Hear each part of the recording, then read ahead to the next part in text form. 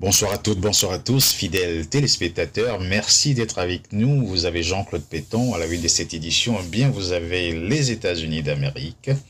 Mélania Trump arrive donc dans la nuit de ce jeudi dans la capitale de Malawi.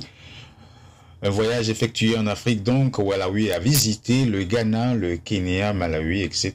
On se pose la question de savoir pourquoi ce voyage, qu'est-ce qui se trouve derrière ce voyage, pourquoi le Ghana, le Kenya, pourquoi pas les autres pays, pourquoi Malawi, etc. Un voyage qu'elle a effectué sans être accompagnée par son mari Donald Trump. Mais je vous rappelle aussi qu'elle a été accueillie avec un, accueil vraiment chaleureux. Je vous demande de suivre ces images.